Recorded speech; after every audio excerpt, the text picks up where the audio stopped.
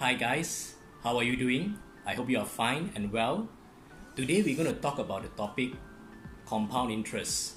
Do you know compounding, compound interest is the eighth wonder of the world? This is according to Albert Einstein, our top scientist. He said once that compound interest created by humans are the eighth wonder of the world. Now, do you know what is a compound interest? Do you know what is the effect of compounding? It is your investment, your money, the principal plus the interest, and continue to grow. Over time, it becomes a snowball effect and it kept growing and it continuously to grow non-stop. Alright, so let's look at the practical effect of compound interest. Say for example, you have 10,000 right now, 10k right now, nah? RM 10k. You are given three options. Number one, leave the money at home and do nothing with it. Number two, bring the money to the bank and keep it in FD and earn about 2% interest per, per year. And number three, find an investment and cap it over there and let it grow with 9% per year. So over time, how does your money grow? How much it will be over the years? We'll find out later on. Alright, so let's look at the power of compounding. Now, first of all, let's look at the effect of inflation versus the investment, which give you 2% return. Huh? Again, we are using the same capital of 10,000. Now, just now we have a first option, keep the money at home, isn't it?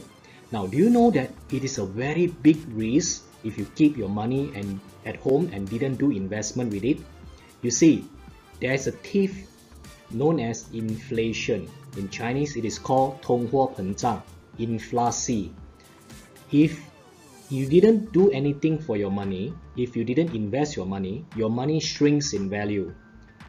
10,000 right now will cost you more in future. It means to say you will need more money to buy the same services and the same goods in the future. Overall, we calculated in Malaysia, especially in overall uh, urban areas, the inflation is about 4 to 5% per year if we are using 4% for this calculation purpose, after 5 years, the same 10,000 value right now will cost you more in the future. It will cost you 12,000 to get the same thing. And 10 years later, it will cost you 14,800 to buy the same thing right now with 10,000. And after 20 years, it will cost you 21,900 to buy the same thing you can buy right now with 10,000 so that is why a lot of people need a lot of money for their retirement especially in future when they get old they are not able to work they need more money they need more expenses. Generally a person will need more than 1.5 million to 2.5 million for their retirement. That is why uh, we need to do investment huh? uh, so inflation is there is eating away of our money now the next thing we work, we calculate the investment which give you 2% return. So with a 2% return, after 5 years it is about 11,000 only.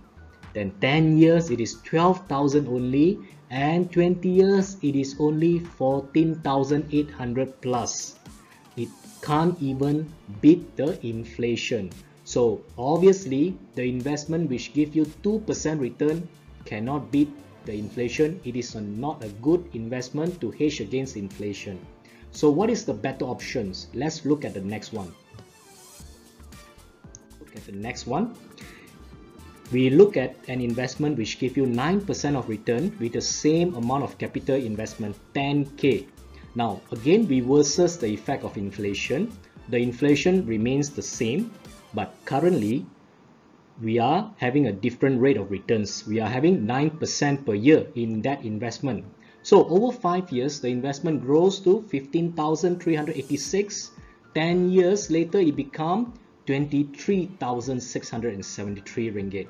It have already doubled within 10 years with a 9% per year. And after 20 years, it became 56,000 ringgit.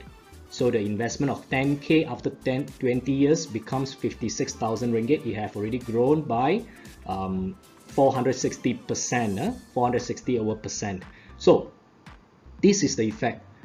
If you choose wisely, you will have more for your money you make your money work harder for you. So next, the last one, let's look at the comparison between the investment of 2% versus the investment which give you 9% return per annum. The same capital of 10k.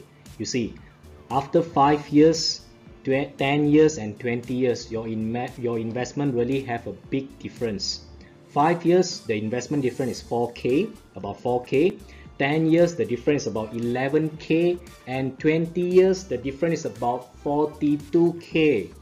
So guys, the same amount of capital if you choose to put it in different vehicles it really make a big difference over the years.